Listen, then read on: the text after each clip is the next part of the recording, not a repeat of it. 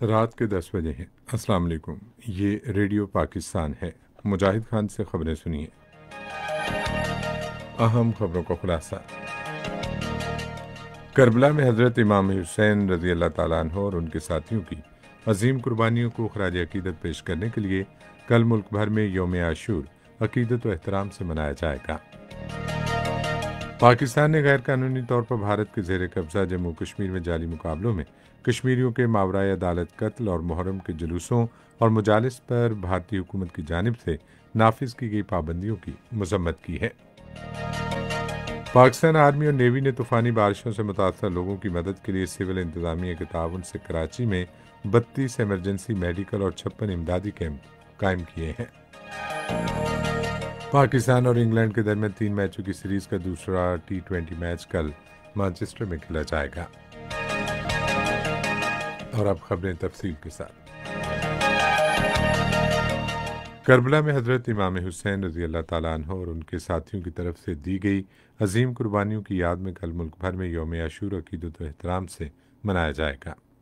मुल्क के तमाम शहरों और कस्बों में मातमी जुलूस निकाले जाएँगे कोरोना वायरस से बचाव के लिए।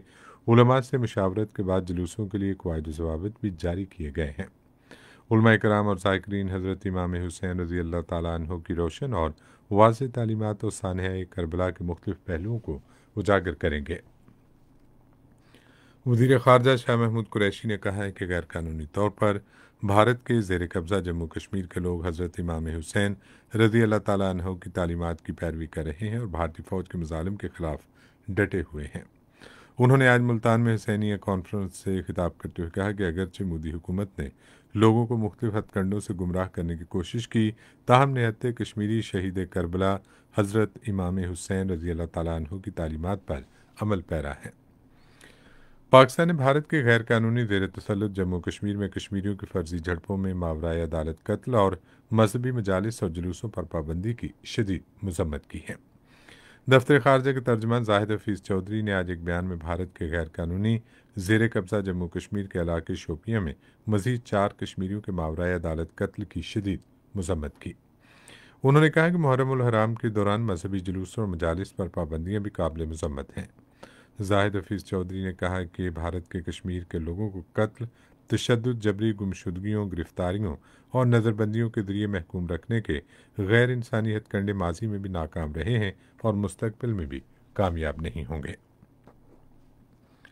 भारत में गैर कानूनी जेर तसल जम्मू कश्मीर में आज भारतीय फौज ने रियासती दहशत गर्दी की ताज़ा कार्रवाई के दौरान मजीद तीन कश्मीरी नौजवानों को ज़िला पुलवामा में शहीद कर दिया। कल से शहीद होने वालों की तादाद सात हो गई है। कराची में बारिश से मुतासर इलाकों में पाक फौज और पाकिस्तान नेवी की तरफ़ से इमदादी कार्रवाइयाँ जारी हैं। फौज के शोबा ताल्लुक आमा के मुताबिक मोबाइल टीमों के ज़रिए बारिश से बुरी तरह मुतासर इलाकों में राशन समेत बुनियादी अशिया ज़रूरियाँ फ्राहम की जा रही हैं।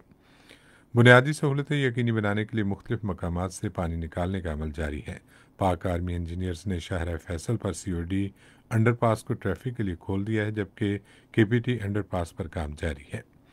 ट्रैफ़िक की रवानी बरकरार रखने के लिए सैलाबी पानी में फंसी हुई गाड़ियों को निकालने के लिए आर्मी मोबाइल रिकवरी गाड़ियाँ मुख्तलिफ़ मकाम पर तैनात हैं। सिविल इंतजामिया के ताउन से बत्तीस एमरजेंसी मेडिकल और छप्पन रिलीफ कैंप कराची के मुख्तलिफ़ इलाकों में मुतासर लोगों की मदद कर रहे हैं। वज़ीर अजम इमरान खान ने कहा है कि वफाकी हुकूमत, सिंध हुकूमत के साथ मिलकर कराची के तीन बड़े मसाइल के हल के लिए फौरी इकदाम कर रही है।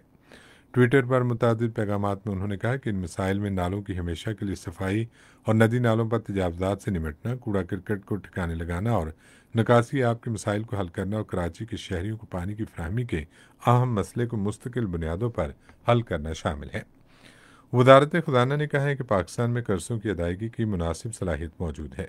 वदारत ने एक बयान में कहा कि मौसर माशी पॉलिसी की बदौलत कई सालों के बाद रवा साल फरवरी में आमदन में नुमाया इजाफा हुआ।